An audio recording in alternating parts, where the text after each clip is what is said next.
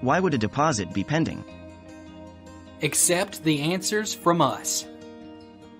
When you deposit money into your checking or savings account, the money will show as pending until it the funds are verified and added to your available balance.